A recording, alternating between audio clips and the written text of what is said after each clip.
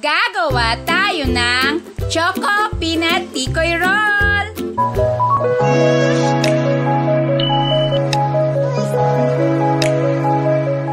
Isangag muna natin ang mani na gagamitin natin mamaya.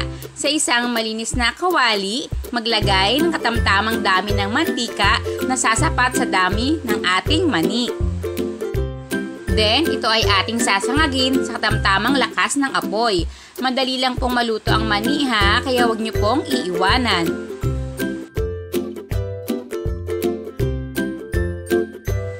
Ang reseping ito ay madalas orderin sa akin ng aking mga customer, kaya sana matry nyo. Pwede nyo rin itong gawing pang business.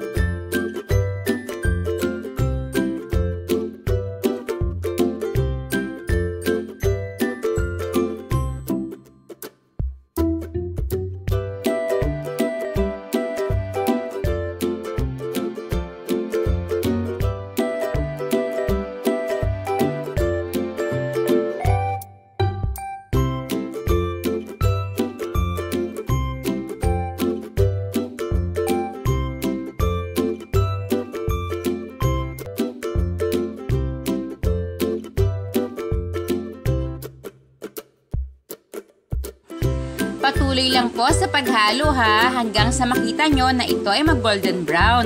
Huwag nyo pong lalakasan ng apoy dahil mabibigla po ang ating mani at ito ay masusunog. Ang isa pa po sa assurance na luto na ang mani, pwede natin itong tikman. Alam naman natin kung ang lasa ng mani ay luto o hilaw ha.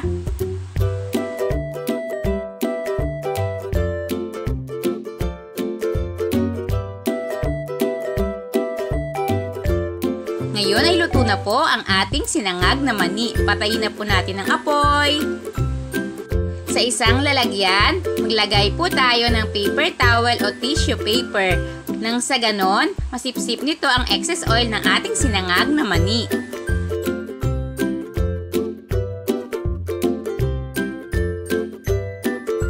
Ito ay hahayaan nating lumamig.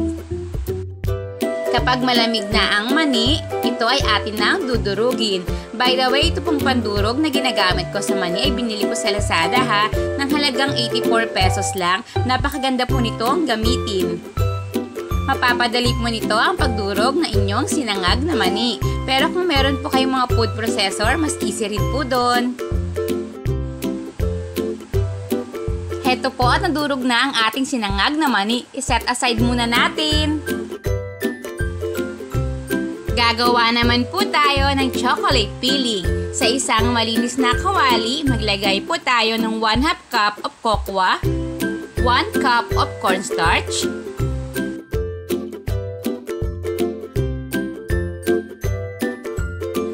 at 1 half cup of white sugar. Haluin muna nating mabuti hanggang sa mag-combine na ang ating mga dry ingredients.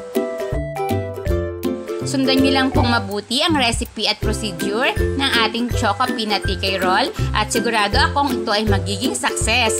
Pwede nyo po itong personal na kainin or merienda at pwede nyo rin po itong pang business. By the way po, sa cocoa na ating gagamitin ay highly suggest po yung mga branded kasi po yung sa mga palengke na per kilo, malaki po talaga ang diferensya sa lasa.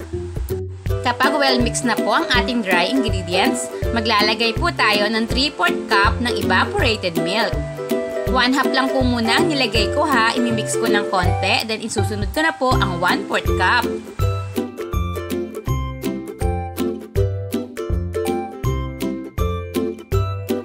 Ito na po ang kasunod na 1-4 cup evaporated milk. Ang apoy po ay hindi pa bukas ha. Hahaluin muna natin ito. Kapag ito ay well mixed na, saka natin bubuksan ang apoy sa katamtamang lakas lang. Kapag ito ay well mixed na, bubuksan na po natin ang apoy sa tamtamang lakas lamang.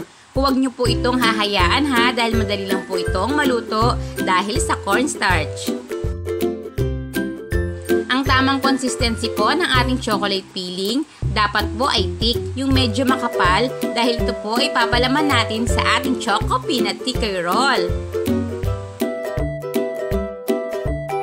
Ayan, ganitong consistency po ang kailangan natin. Dahil kapag pinatay pa po natin ang apoy, mas lalapot na po ito o mas kakapal. Ito po ay tama lang po. Ngayon, patayin na natin ang apoy at ito ay ating palamigin. Para naman po sa paggawa ng ating tikoy roll, maglagay po tayo ng 6 cups of glutinous rice flour.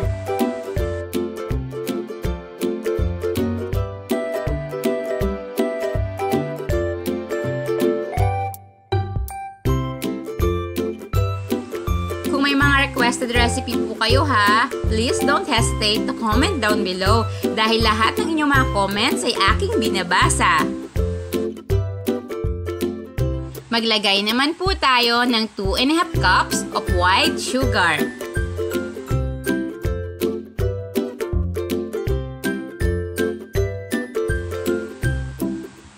Please, don't forget to like and subscribe and click the bell button para naman po updated kayo sa tuwing ako ay mag-upload ng mga bagong video. Haluin natin ang ating mga dry ingredients. At kapag ito ay halong-halo na, maglalagay naman po tayo ng 4 cups of water.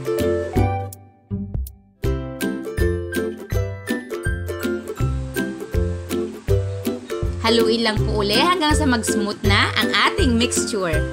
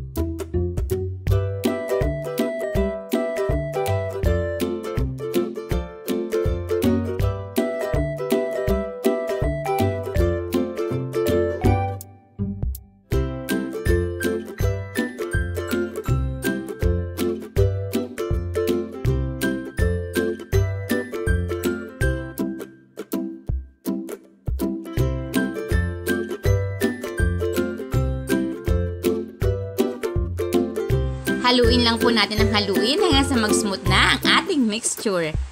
Then, mag-a-add po tayo ng 1 tablespoon ng coconut oil. Kung wala naman po kayong coconut oil, pwede po kayong gumamit ng kahit anong oil basta wag lang po yung mga used oil. I-mix lang po natin mabuti hanggang sa humalo na ang ating oil sa ating tikoy mixture.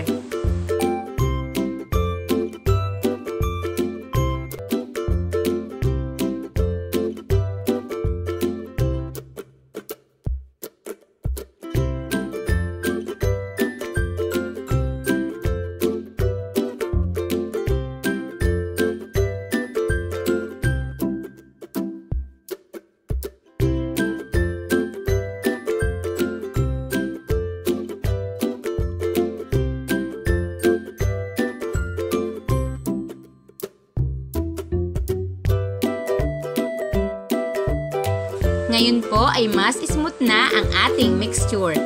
Halos ready na po ito para sa ating pag-steam.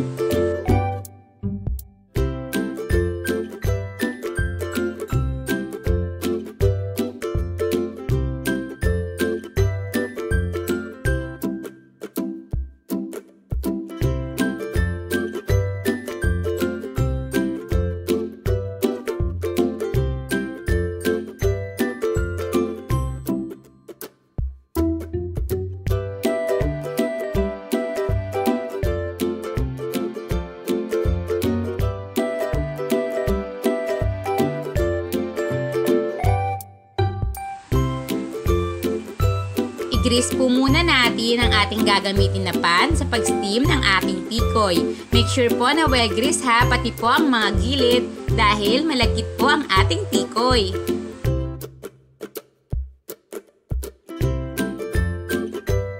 Then, ilagay na po natin dito ang ating tikoy mixture. Kahit anong pan po ay pwede nyong gamitin ha, mag adjust lang po kayo sa oras ng pagluluto. Ngayon ay nasa steamer na ang ating tikoy at ito ay atin ang tatakpan, maghihintay tayo ng 35 to 40 minutes. After 35 minutes, iti-check po natin ang ating tikoy. Gagamit po tayo ng toothpick sa pag-test nito. Kapag ganito na at wala nang sumamang tikoy sa ating toothpick, luto na po ito. Patayin na ang apoy. And now, habang ito ay mainit-init pa, padaanan po ng kutsilyo sa gilid at ito na ay ating tatanggalin sa pan. Ang aking pong lamesa ay nilagyan ko ng cling wrap nang sa ganon hindi po dumikit ang ating tikoy. At lalagyan ko rin po ito ng konting oil.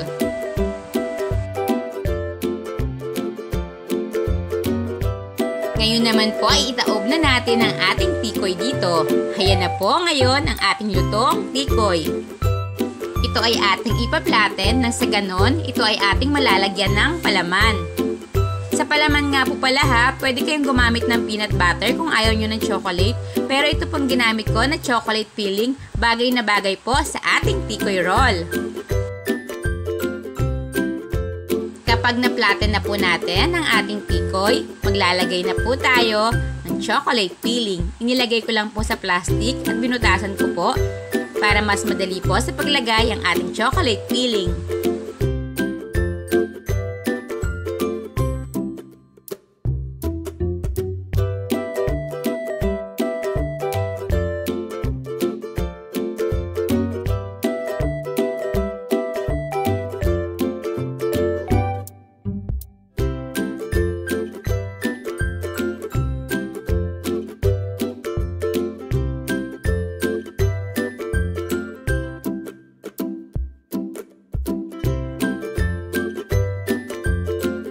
Kapag nalagyan na natin ng chocolate filling hanggang dulo, ito ay atin nang i-roll.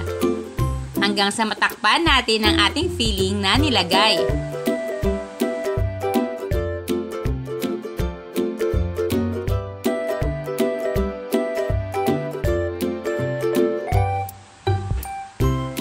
Double filling po ang lalagay natin ha. Ngayon, maglagay po ulit tayo ng chocolate filling.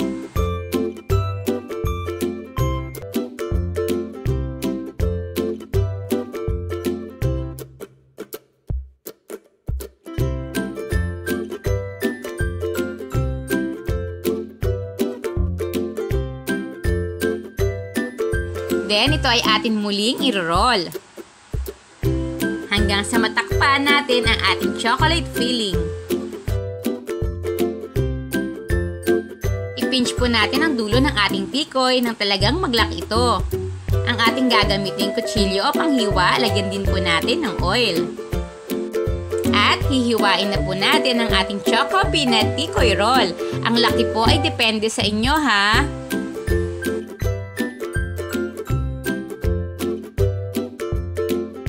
Kapag ito po ay inyong hiniwa, make sure lang po na ilalayo nyo ito sa katabi niya ha kasi po mas madali po silang magdikit dahil talaga pong malagkit ang ating tikoy.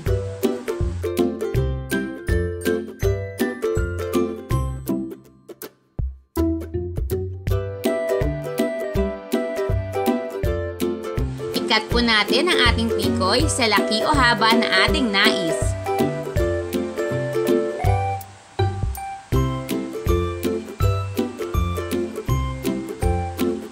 Tingnan nyo po, oh, dalawa po ang filling ng ating Choco Peanut Tikoy Roll. Heto na po ang ating mga nagawa. Ito po ay medyo maliliit. At ito naman ay medyo mahaba. Depende po ito sa inyo ha. After nating hiwain ang ating mga tikoy, ito ay ating iro-roll sa ating sinangag na mani na dinurog natin kanina. Make sure po na makocoat natin lahat ng parte ng ating tikoy ha dahil magdadagdag po ng sarap ang ating sinangag na mani.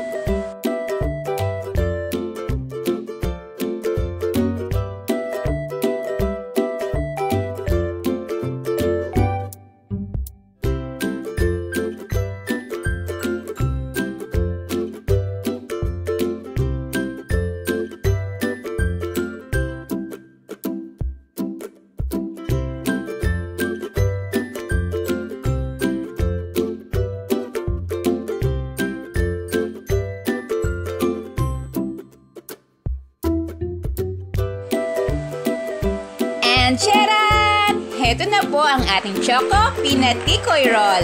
Please, don't forget to like and subscribe and click the bell button for more video!